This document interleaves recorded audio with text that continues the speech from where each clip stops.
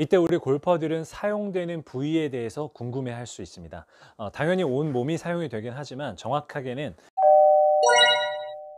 아이언이든 드라이버든 방향에 어려움을 겪고 있는 골퍼들 같은 경우에는 이 움직임을 이해하지 못하거나 또는 알지 못한 상태에서 스윙할 경우에 지속적인 어려움을 겪게 됩니다. 자, 우리가 이 움직임을 알기 전에 먼저 이걸 체크를 해보는 게 중요한데요. 우선 클럽을 잡고 조금 단단하게 고정되어 있는 물체에 페이스 중앙을 맞춰보는 겁니다. 그리고 이 상태에서 우리가 임팩트 하듯이 타겟 방향으로 힘을 가해 보는 것이 중요한데요. 이렇게 힘을 가하다 보면 아마추어들, 방향에 어려움을 겪는 골퍼들 10명 중에 9명은 힘을 가하면 가할수록 페이스가 이렇게 뒤틀리고 열리는 현상을 보이게 됩니다. 하지만 상급자들, 프로 선수들은 아무리 힘을 가해도 타겟 방향으로 페이스 라인이 유지되면서 그대로 힘을 가하는 모습을 보이게 되는 것이죠. 이게 바로 프로 선수와 아마추어의 가장 큰 차이라고 볼 수 있습니다. 연습 방법이라고 할 것도 없이 정말 간단한 드릴이지만 우리가 꼭 이 연습을 할 때는 주의 사항을 지키면서 연습을 하는 것이 중요한데요.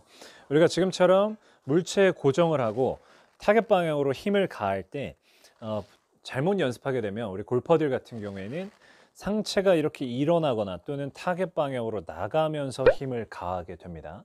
또는 팔을 이렇게 뒤집으면서 이렇게 왼팔이 몸에 가까워지는 문제도 나타나게 되는 것이죠.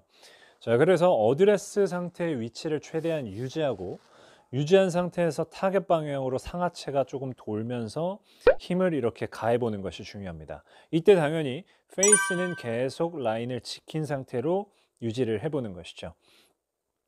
이때 우리 팔이 뒤집어진다면 이것도 잘못된 연습이라고 볼 수 있고요. 어드레스 때 팔의 라인을 그대로 유지한 채로 계속 힘을 가해 보면 우리가 페이스를 조금 더 유지한 채로 임팩트를 만드는 걸 느껴볼 수가 있습니다. 자, 이렇게 임팩트에서 힘을 쭉 가해 보고 백스윙을 절반만 갖다가 다시 힘을 가한 채로 만들어 보는 것이죠.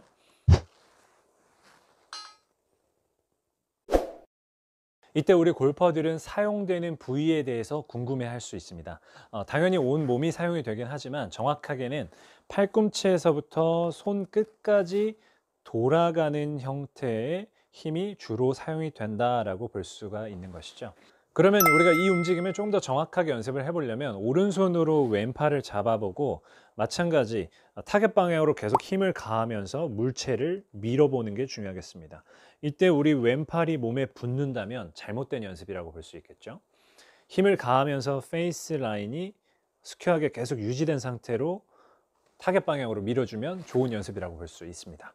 자, 우리가 여러 가지 움직임, 동작을 떠나서 우리는 타겟 방향으로 클럽을 휘두르다 보면 이 헤드의 무게 때문에 페이스는 되게 자연스럽게 열린 채로 쫓아오게 됩니다. 그렇기 때문에 우리가 이 페이스의 면을 오롯이 컨트롤하는 움직임을 이해하지 못한 상태로 연습을 하게 되면 방향에 대해서 지속적으로 고민을 하게 되는 것이죠. 만약 우리 골퍼분이 방향에 대한 고민이 있다면 이렇게 타겟으로 밀어주는 임팩트 연습을 꼭 해보시고 연습을 다시 한번 해보시기 바랍니다. 훨씬 더 정확한 방향을 만들어 가실 수 있을 겁니다. 감사합니다.